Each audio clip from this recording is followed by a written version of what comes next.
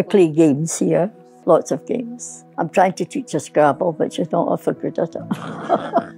That's because I don't know QI as a however many letter word, point word. You know all the tricks.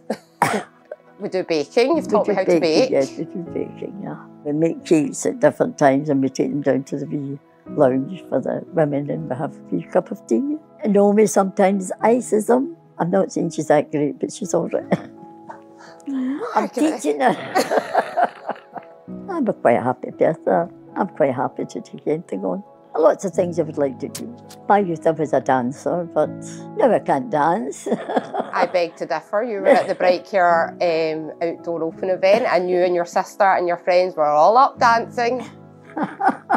You're all up falling all over the place, you mean? Come on. no, you... Yeah.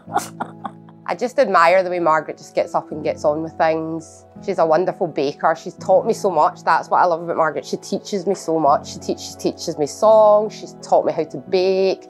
Margaret used to be a nurse, so I can ask her any sort of wee kind of questions. And I just love the fact that we've got such a good relationship and it's, you know, we can talk about anything, can't we? Oh, yeah. Absolutely anything.